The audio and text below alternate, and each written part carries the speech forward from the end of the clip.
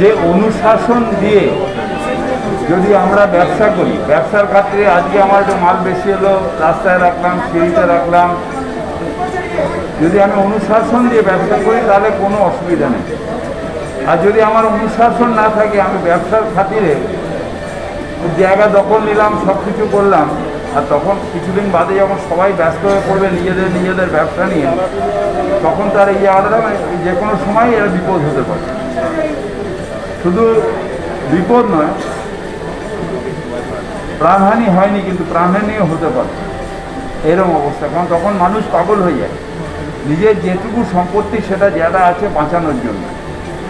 আমি এসে নিজে দাঁড়িয়ে থেকে সেদিন রাত্রি, তার পরের দিন আমি টোটালটা চোখের সামনে দেখেছিলাম যে কীভাবে মানুষের আতঙ্কিত হয়ে যায়, কীভাবে মানুষ ইয়ে হচ্ছে সুতরাং আমি প্রেসিডেন্ট সাহেবকে বলেছি যে একটা টাঙিয়ে দিতে। ইয়ার দোকানের বাইরে মাল রাখবেন না, সিঁড়ি দখল করবেন না, প্যাসেজ দখল করবেন না।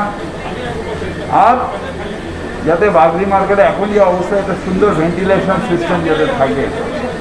সেটার জন্য আমি ওনাকে রিকোয়েস্ট করেছি এবং আশা করি ওনারা এখন তো ঘর পোড়া গরু, সিঁদুরে মেঘ দেখলে ভয় পাবে। আগুন হয়েছিল, এটা দু হাজার আঠেরোতে হয়েছিল, সেপ্টেম্বর মাসে। আমি মন্ত্রী হয়েছিলাম ডিসেম্বর মাসে।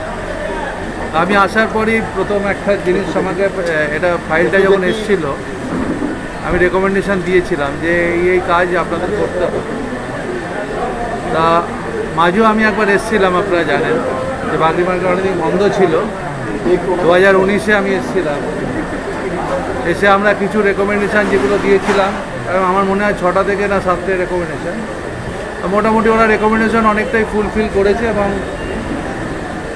দু চার দিন আগে আমি ডিজিকেও বলেছিলাম ওদের ব্যাপারটা দেখে নেবেন আমি যাব ওখানে। এক্ষুনি ডিজির সঙ্গে কথা হলো ডিজি বলল স্যার মোটামুটি ওরা করে ফেলেছে আমরা আমাদের দিক থেকে দেখুন একটা পুরনো মার্কেট এখানে প্রায় দশ হাজার মানুষ এখানে কাজ করে একসাথে। তা আমাদের একটা পুরনো মার্কেটে যতটুকু করা সম্ভব যেমন আমাদের ওপরে আমার মনে আছে যে আমরা এক লক্ষ লিটারের একটা জলের ব্যবস্থা করেছি। আগে এটা ছিল না। কিছু কিছু রেকমেন্ডেশন দেওয়া আন্ডারগ্রাউন্ড রিজার্ভার কিছু অটোমেটিক সিস্টেম যেগুলো পারা গেছে সেগুলো যতটা পেরেছি আমরা করেছি। আমরা চাই এত লোকের রুটিন যে এবং মাননীয় মুখ্যমন্ত্রী তিনিও সবসময় এটার প্রতি তিনি সহানুভূতি দেখিয়েছেন। ফিরাদ হাকিম তার ডিপার্টমেন্ট তারাও দেখিয়েছে। সব ডিপার্টমেন্ট মিলেই কাজটা খুব ভালো। আমরা আজকে খুব ভালো একটা দিন। বাগদি আবার নতুন করে সেজে উঠেছে আর নতুন করে উদ্বোধন হচ্ছে, এটা খুব ভালো। আপনি দেখবেন নতুন বিল্ডিং এ কেউ আন্ডারগ্রাউন্ড রিজার্ভার করতে পারে না। It's a history underground reservoir Bagri পূর্ণ বিল্ডিং এ আমরা করেছি। সবাই বলে কেএমসিতে কাজ করলে টাকা লাগবে। আমাদের তো পাঁচ পয়সা লাগেনি, আমরা কানেকশনও পেয়ে গেলাম। ওরা নিজে পয়সা পাকিট থেকে খরচা করে আইটি রুড়কিকে আনালো।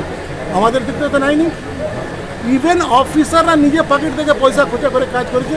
ডিভোশন কীরকম ছিল ওটা বুঝতে পারবে না নাইটে শিফটে আমার দুটো যা আছে ফায়ার ফাইটিং থাকে, দুটো ইলেকট্রিশিয়ান থাকে, চারটা সিকিউরিটি গার্ডস থাকে। আমরা প্রত্যেক মাসে যা আছে ফায়ার অডিট ইলেকট্রিক অডিট করতে থাকি।